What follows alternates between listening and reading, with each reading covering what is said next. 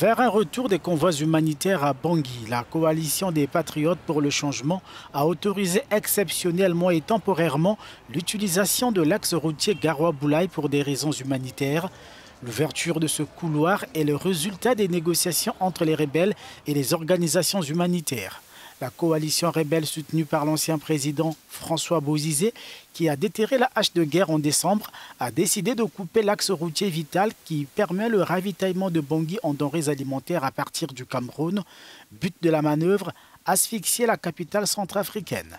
Lundi, un premier convoi d'aide humanitaire était déjà parvenu à Bangui sous escorte des casques bleus après 50 jours de blocus. 2,8 millions de Centrafricains auront besoin d'assistance humanitaire et de protection cette année, selon le Bureau de coordination des affaires humanitaires des Nations Unies.